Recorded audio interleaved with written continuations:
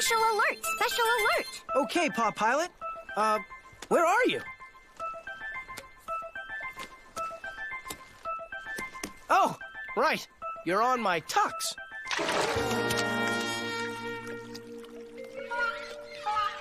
Oh, Wolfie told me to do something to keep my tuxedo dry. I just can't remember what it was. Special Agent Oso, Mr. Dos here. An urgent matter needs addressing. Frank wants to get dressed all by himself, but he doesn't know how. Your special assignment? Help Frank get dressed. Understood. But I could use some help. Will you help me with this special assignment? Okay. Paw Pilot, what special steps will I need for this assignment?